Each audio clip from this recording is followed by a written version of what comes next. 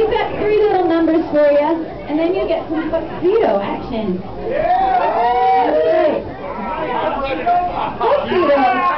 You're going to see the tuxedos next.